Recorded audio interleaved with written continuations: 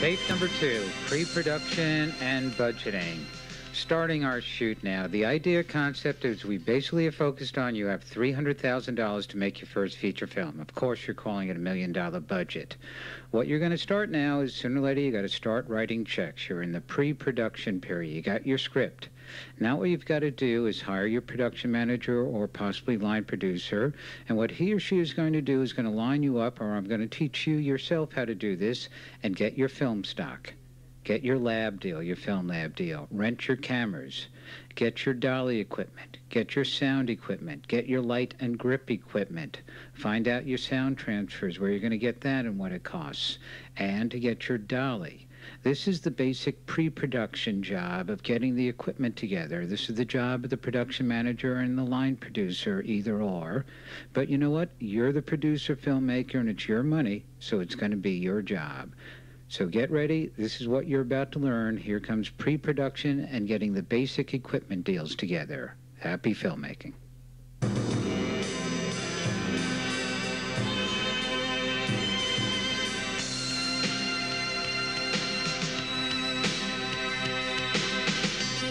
Next subject. What we're going to do is get into our pre-production, and you're going to learn how to be production managers and get all the deals, knowing that you have $300,000 and we're going to make a film. We don't have a penny more than 300,000. Is this a $300,000 budget? No, it's a million dollar budget. We have 300,000 cash. Let's make our movie now. Let's start making our deals and doing it. Film stock, lab, camera, sound, lights, etc. We're going to have to do. There are three stages that are taught in film schools of making a movie. There's pre-production, production, and post. I think that's bull. I think of it as five stages. Pre-pre-production, pre-production, production, post-production, and then marketing distribution. See, right now, everybody's in pre-production. What you think is pre-production, which you are, you're, numerous, you, you're all producers with numerous projects in various stages of development. You're all in pre-production. Any of you have any money yet? No. You're really in what I consider to be pre-pre-production. Real pre-production starts when you have money and can start writing checks. That's when real production starts. And you know how long real pre-production is? Film schools teach two months to three months. I've never seen it longer than 10 days. Because when you're out there chasing the money, and you finally get somebody to give you $300,000, you are so scared they're going to take it back tomorrow. You're going to spend it within a week. That is not a joke. That happens every time.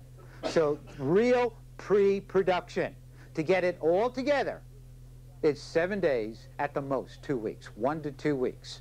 So right now we're in real pre-production. Somebody gave us a $300,000 check. Let's get it together. Let's start getting everything. Let's get our crew. Let's get our film stock. Let's get our location. Let's get a lab deal. Let's get a camera deal. Let's get a sound deal. You know how much time you have? For each of those, for all that together, all those little deals, you got about three days. By the way, it's no big thing.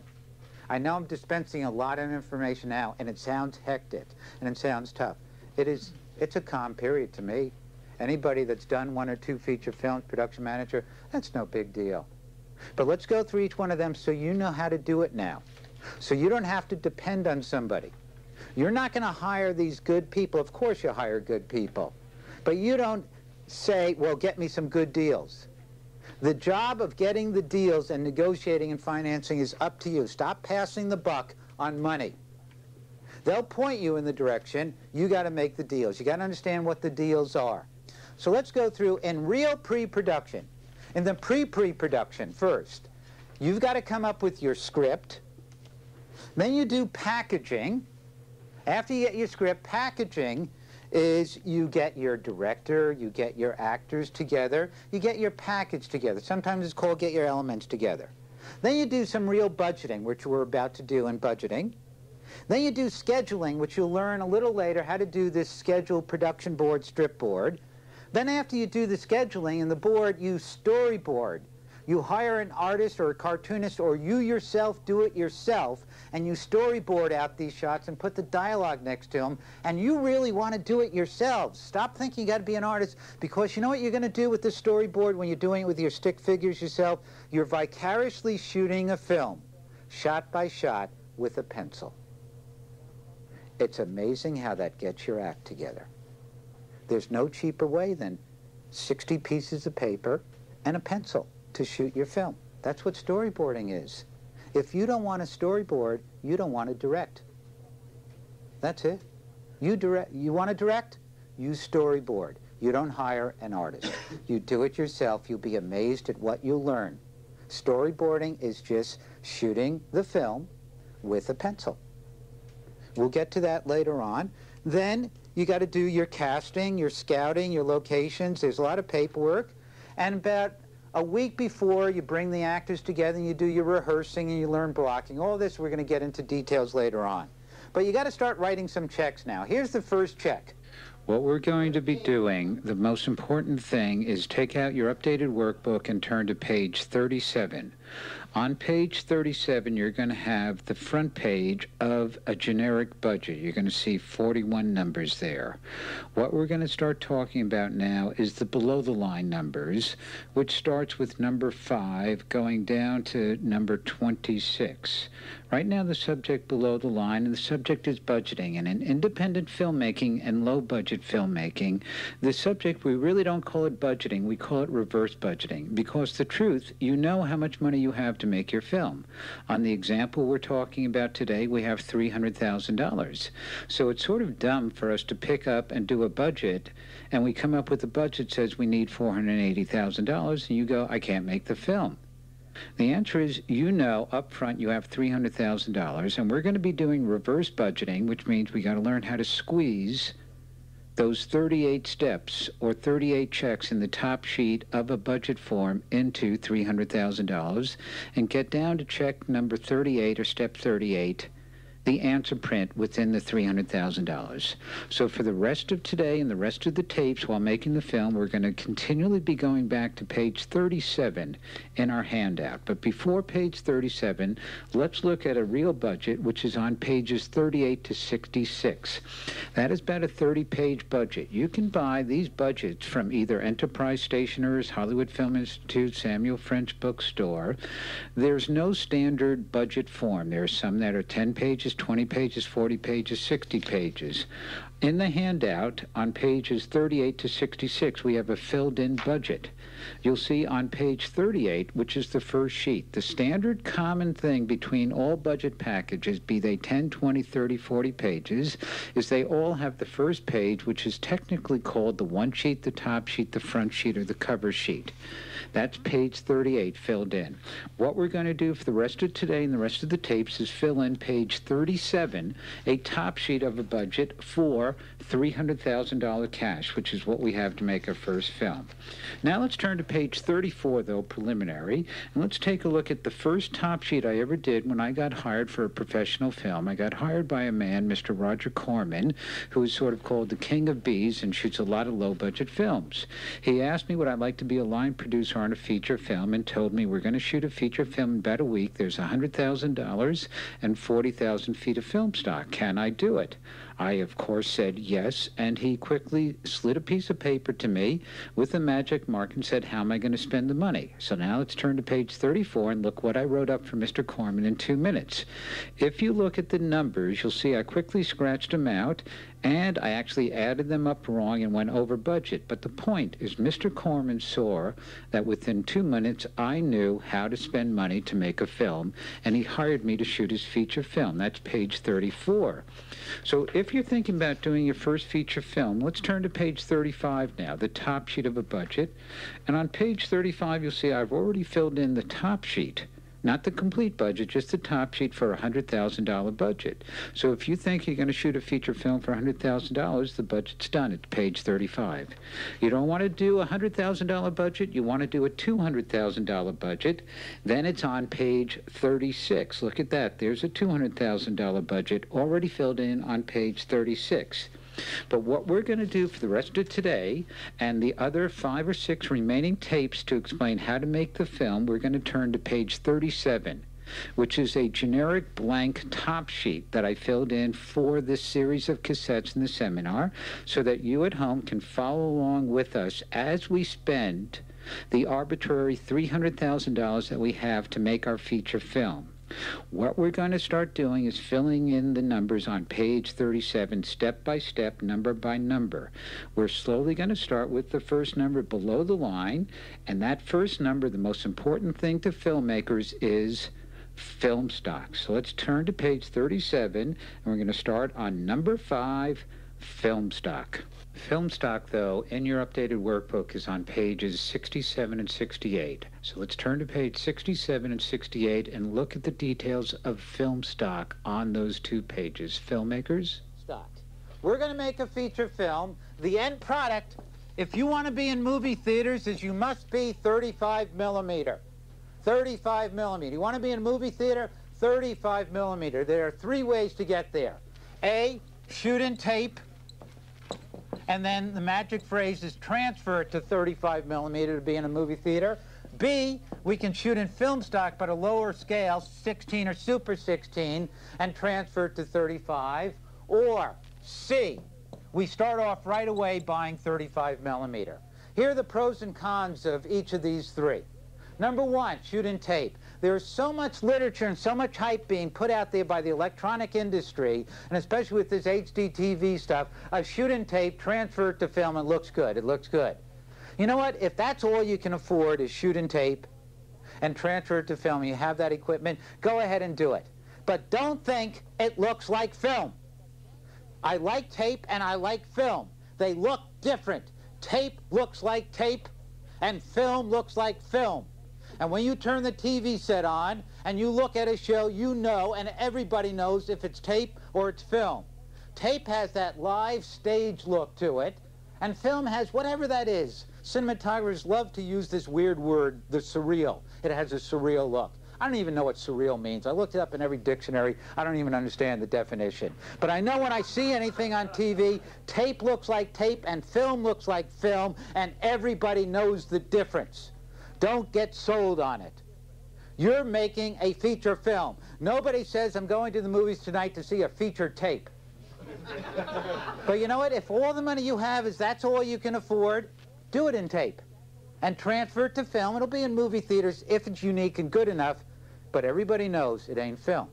But you got it done. So I'm not negative on I'm just trying to get you real of don't think this is the way to do it.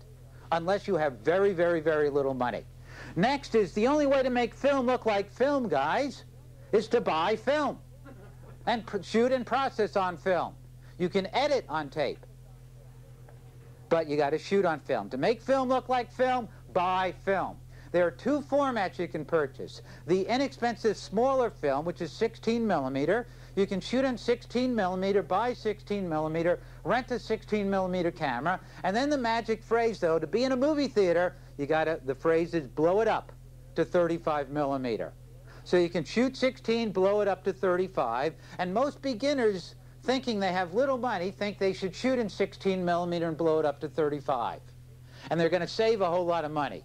You'll save, here's what you really save. You'll save seven to nine thousand dollars buying film stock.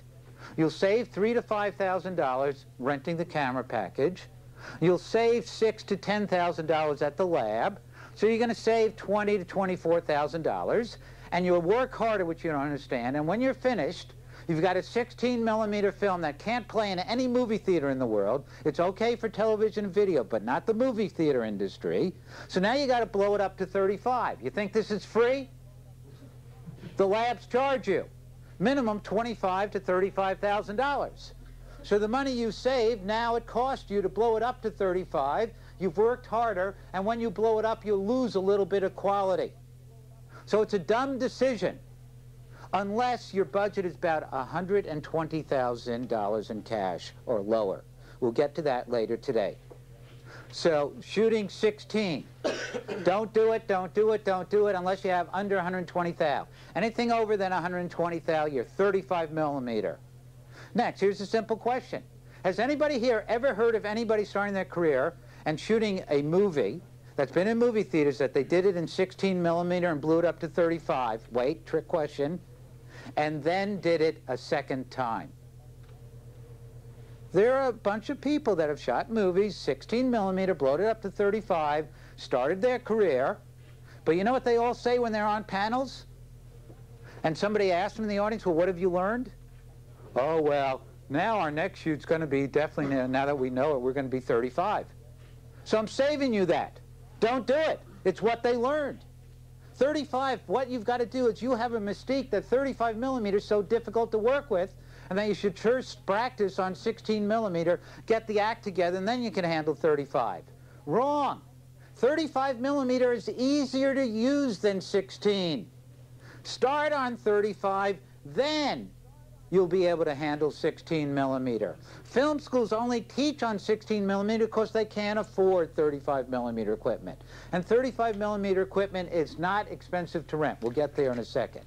So basically, we're going to shoot 35 millimeter. You're going to buy 35 millimeter film stock.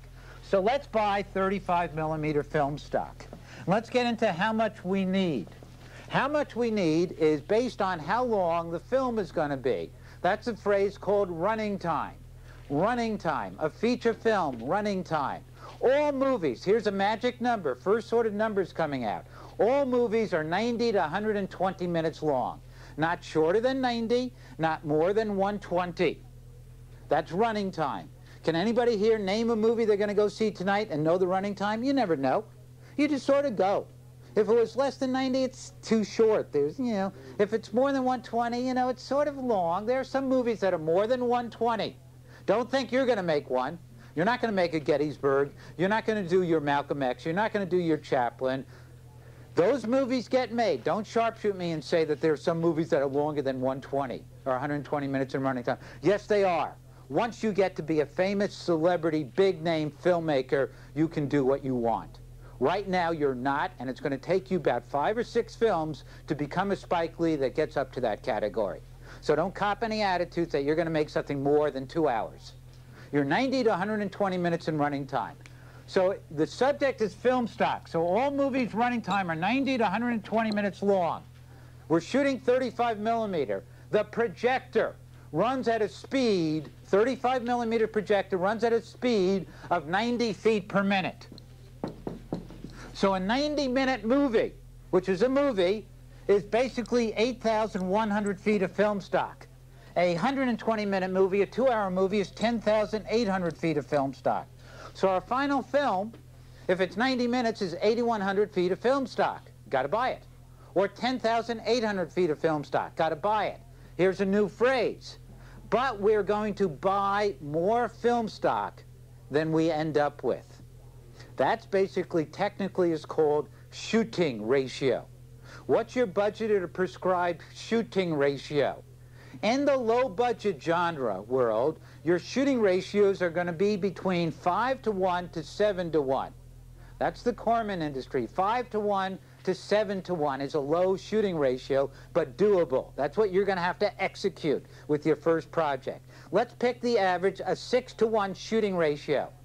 If you're going to be a 90-minute movie with a prescribed budgeted 6 to 1 shooting ratio, if the final print is 8,100 feet, we're going to start by buying six times 8,100 feet or 48,600 feet, rounded off to 50,000 feet. You are going to start your film by going out and purchasing approximately 50,000 feet of 35 millimeter film stock. 50,000 feet. Now, here's where you buy the 50,000 feet. That's assuming a 90-minute movie at a 6 to 1 shooting ratio. If it was a two-hour movie at a 10 to 1 shooting ratio, that would be 10,800 feet times 10, so it would be about 110,000 feet. But you find out what's your running time. Projected running time is by how long is the script. 90-page script. One page of script typed properly equals one minute of running time. So a 90-page script, 90 minutes. If you're budgeting for a 6 to 1 shooting ratio, 50,000 feet. Shoot. Why are you going with a 6 to 1 ratio? Because that's all you can afford for $300,000. We've done it too many times. Okay. or the truth is 150,000, that's all you can afford. If you said 150,000, six to one, stop. If you're saying 300,000, that's our budget. I could get away with a 10 to one. I could, we can afford a 10 to one. Why? We've done it too many times. Ain't got any more money because we got to pay these other numbers here. That, that's why. There's no law. It's just we've done it too many times to know. To max out production value, we can only allocate X dollars to each area. Right. That's it. Six takes. Not six takes. Six to one is not six takes. You don't understand that. That's this afternoon when I teach how to direct. Six to one is maybe one take, master shot, one take, medium shot, one take, close up, one take, POV shot, one take, six different angles. Or if you want to try six takes on your master shot, you have no more film stock to get a medium shot. That's, let me get to that later. Shoot. You had a question? Let's go moving on. So buying film stock, the 50,000 feet. I'm going to teach you how to buy from the white market, the gray market, and the black market. White market, gray market, and black market. The white market, buying directly from the manufacturer. The manufacturers, we have three manufacturers, Kodak, Fuji, and Agfa. So turn to page in your updated workbook, page 67. 67, and you'll see the phone numbers for Kodak, Fuji, and Agfa, and other information. Has two types of 35 millimeter stock and two types of 16. Even though they give you a lot of technical, weird number jargon to try and confuse you. What their film stock is, is generically called either high speed or regular speed. When you get all the literature from them, you won't have any of that. But when you ask them, what's your high speed stock, they'll know what you're talking about. When you ask, what's the regular speed, they'll know what you're talking about. Here's what high speed 35 millimeter stock is. When you go to the speed rating, the speed, you look for the number, the technical number, which is called the ASA. What's the ASA? High ASA, high speed stock, is 250 to 500 ASA. Medium speed stock is about 120 to 200 ASA, and low speed or slow speed stock is anything under 100 ASA. High speed film stock means when you expose the film stock to actors and light, it catches the image quicker. High speed. You being low budget, shooting in rooms like this, an available room, somebody's house, and not having a lot of lights will probably go high speed oriented. High speed, high speed. So you'll be getting a little bit more high-speed stock. When you read your script, all interior day, right now we're interior day, but the room is dark, all interior day, interior night, and exterior night pages you purchase high speed for. All exterior day, which you assume is sunny, you purchase regular speed stock for. So you, every script is different. You read the script, find the percentage relationship, and now let's buy high speed or regular speed. Every manufacturer has it. Kodak calls their high speed 52, 94, 95, 96, 97. Regular speed 52, 47, 52, 48. Fuji has high speed 85, 14 and 85, 11, etc., etc. Those numbers don't mean anything. They're there to confuse you. What means anything is what's the ASA rating. So now we're going to buy 50,000 feet of 35 millimeter, a percentage high speed, interior and night, and a percentage regular speed exterior day. Now let's find out what this stuff costs. Go to page 67, page 67. Harrison. You'll see the column on the left with Agfa, Kodak, Fuji. Now we're going to compare the three.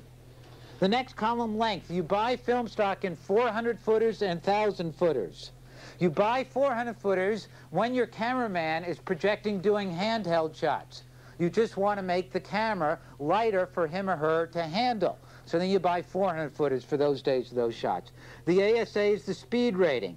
The stock number column, just X those numbers out. That's the manufacturer trying to confuse you. Now it's price per roll. You see the most expensive film stock in the history of filmmaking, Kodak, three from the bottom, 35 millimeter. It's $376.20 a roll. These prices are about a year and a half old. It is now about $420 a roll. $420 for a thousand footer. Here is how you negotiate with these companies. You don't pay retail. The only person in the film industry that ever pays retail is you, the beginning filmmaker. So I'm trying to get you away from thinking you're going to ever pay retail. Anytime you see it in print, don't pay it. never pay it. Only first timers pay it. And they always say, we'll give you a 10% discount. That's a joke. We get 30 to 40% discounts. We do. You might as well get them too. Your money's as good as our money. So here's how you get the discounts. Let's say Kodak, most expensive here, let's say it's 40, 42 cents a foot, or $400 or $420 for a 1,000 foot roll, 40 cents a foot. You want to get a deal. This is the white market. The white market is buying directly from the manufacturer, Kodak, Fuji, and Agfa. Three companies that hate each other and compete with each other, and all three of their products are wonderful. So you go into Kodak. You know how you get a deal from Kodak? You ask Kodak, well, I'm shooting 50,000 feet. How much does the film stock cost? And he says that. And then the salesman you talk to, you go, oh, well, that's a little too expensive for me. I guess I'll have to buy Fuji. it's amazing. They'll, you'll get 30% off. You know how you get a discount from Kodak? Don't say you're a student. They don't care. Don't say, you know, I qualify for the IFP 10% discount or this film school discount. They don't care. All that's bunk. You just say, what's the price? Oh, I can't afford it. I'm buying Fuji. They won't let you out of the office. What can you afford? We'll work with you. They like that phrase. We'll work with you. We cut deals. Those are the two phrases you'll hear. So literally what I found out by doing it so many times is I'll get 30% off. So from Kodak, get off 30%. You know how you get a deal from Fuji? Say Agfa. Okay? Take these prices, knock off 30%, that's what it is. So if it's 40 cents a foot and we're buying 50,000 feet, that's $20,000, but we're going to get a 30% discount. So let's say film stock buying 15, 50,000 feet at a 30% discount, 50,000 feet at a 30% discount will be about $15,000, about 30 cents a foot, buying directly from the white market. Here's another way to go. Never mind directly from the manufacturer, go to the gray market, the secondary market. This is totally legal. There are two companies right around the corner from this lab that we're sitting in. Studio Film and Tape is one company. Studio Film and Tape is one company. Another company is Steady Systems, S-T-E-A-D-I hyphen S-Y-S-T-E-M-S. They buy and sell leftover unused film stock from other manufacturers, from Kodak, Fuji, and sell it to you. It's brand new, unused, unopened.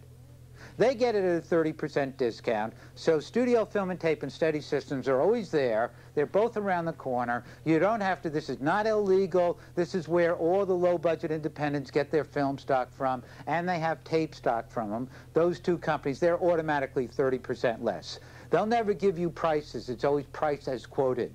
30% so you, less, so you're 30% from Kodak? Uh, no, it'll be about 10% less than the 30% from Kodak but it's automatically right at that 30% less price if you don't even want to play with the let's haggle from Kodak, and you'll buy Kodak stock from them, or Fuji stock from them, or Agfa stock from them. So those companies, you know they exist. Now they also work in, and they sell things that are called, that you got to understand, recans and ends. You got to understand what recans and ends are. Recans and ends. When I buy a thousand foot can, or when we're shooting a feature film, we buy 50,000 feet, more than likely what we're going to be for the rest of today is a three-week shoot. 18 shooting days. Three-week shoot, 18 shooting days, buying 50,000 feet of film stock using 3,000 feet a day. So let's say every day you're going to have 3,000 feet exposed in the camera, but you know what? We have four or 7,000 feet there. We'll always have one magazine loaded and two or three extra magazines loaded with different speeds. If the lighting situation changes, we can slap one up very quickly, change magazines very quickly. We have very little downtime. So to load a magazine, you got to take a brand new can of film stock, open it, break the seal, take it out in the dark, load it into the magazine. So a human hand touched it once. So let's say the end of the day, the end of the week, the end of the shoot, we don't use that magazine that's been sitting in the shade. We put it back in the original can. We re-can it. So a recan has been touched by a human hand once. These companies will sell you recans at less than 30 cents a foot, probably 25 to 22 cents a foot. So you can buy recans. They've been touched by a human hand once, but you know what? I'm still not, I wouldn't be uptight about it. So recans are there. Next, ends and short ends. Every day, let's say you go through 3,280 feet. Well, that 280 feet is on a 1,000-foot reel. At the end of the day, you'll clip off 280 feet and send it to the lab to get developed and print. But you know what? You got 720 feet left over. That's an end. Every day, you're going to accumulate an end. What we call it, if it's more than 700 feet, it's a long end. 700 to 400 feet is sort of an end, and less than 400 feet is a short end. So when you buy ends, it means it's been touched by human hands three or four times. So ends, long ends go for about 12 to 15 cents a foot. Regular ends go about 12 cents a foot. No, long ends go for 15 to 20 cents a foot. Regular ends 12 to 15 cents a foot. And short ends, anything under 400 feet, go for 10 cents a foot. So you can accumulate 50,000 feet of 35 millimeter short ends for $5,000, 10 cents a foot. Film stock, white and gray market, buying film stock, 35 millimeter. Now let's buy what's the black market. The black market, I get a phone call about once every three weeks. I don't know who the guy is. It's always been a man so far and different each time. But the guy says, hey, I hear you shoot a lot. I got 20,000 feet of Fuji, high speed, brand new unopened. You want it? 10 cents a foot. It's always 10 cents a foot. I've never bought it because I know what it is. It's stolen film stock. By the way, the gray market is absolutely legal. Kodak, Fuji, and Agfa sell to the gray market. But the black market is illegal. That's stolen film stock. I've never purchased stolen film stock, but you know what? I'm not going to be a hypocrite. I was never called on the day I was about to buy film stock. But that film stock, it's always 10 cents a foot. You're not going to get that phone call. So, and there's no street corner phone number I can give you on how to do that because it's illegal stuff. But the point is, where did that film stock come from? Why I got to make you aware of this? You know where it came from? Your shoot. That's one of the perks that us camera people, production managers, assistant directors, camera operators, second ACs, that's one of the little perks we do on shoots. We disappear a couple of cans of film stock every day. And we take it home for ourselves. And you've got to understand your film stock is gold. It's your budget. Your budget isn't $300,000. Dollars, your budget is 50,000 feet of film stock. That's your gold. Think of it that way. So what I want you to be aware of is don't support the black market. When the cinematographer says, sir, don't worry, or ma'am, don't worry, I'll take care of the film stock, uh-oh, you worry right away because you're going to lose five to 8,000 feet. And you don't even know it's been disappeared. So now you understand getting film stock, white, gray, or black market. You're going to buy high speed or regular speed, 1,000 footage, 400 footage, Kodak, Fuji, Agfa, they're all three are wonderful and great. Buy directly from the manufacturer, get a 30% discount, or go to Studio Film and Tape and Steadi-Systems, get an extra 10% discount. They'll also have recans and short ends, and don't support the black market. That's buying 35 millimeter, 5 to 15,000. Two quick questions. Do you, uh, if you shoot on Kodak, do, does your whole film have to be on Kodak? Yeah, I, I would recommend not mixing different manufacturers, Kodak, Fuji, and Agfa. But within the same manufacturer, you can mix high speed, regular speed, slow speed, medium speed. Yes. Second question. Second question is, um, it looks like such a great deal to get the, the ends. Yep. Uh, do you have to have a higher level of technical expertise as a camera person to work with them? No. No. What they'll do with the ends is you'll clip off, and they clipped off 10 feet to make sure it's all printed properly. They do a scratch test that's there. The problems when you go in with ends is that you're spending a lot of time loading and downloading the camera. So that's sort of the, the balancing off factor that you'd rather not do. It's not a problem of what if it doesn't work. I've done it too many times, it works. There's too much uploading and downloading time that sort of you lose time in that one. So the situation about ends and recans is why you know it's there. I have never been and ever seen a low-budget independent film that comes two to three days before the shoot is over, you have run out of money. When you run out of money is when, when you know you run out of money, when you run out of film stock. Three days before the shoot's over, the DP is going to come to you, DP, Director of Photography, say, sir, we're out of stock. What are you going to do? You're broke. There ain't no contingency. What are you going to do? Well, you know, it- it's actually you can't be a producer. This is my own opinion, unless you're unless you have an obsessive personality disorder. If you're not in a 12-step program anywhere, forget it. You can't be a producer, whatever. But you just ran out of money. It's two days before the film's over, and you're going to finish this film, and you got no more money. You'll sell your child. You'll hock your car. You'll do whatever to come up with another $3,000. And you know what you're going to buy now? Recans and short ends. So when that situation occurs, and don't tell me it's not, it happens every time. Now you know where to make the phone call real quick to get the cheapest film stock in the world. A Steadi-System studio film and tape. Don't tell me it's not going to happen. It happens every time. That's where you buy it at 8 cents, 10 cents, 12 cents a foot, compared to Kodak at 35 to 45 cents a foot. So that's film stock. Next situation is lab. Let's get a lab deal. This is the end of side A.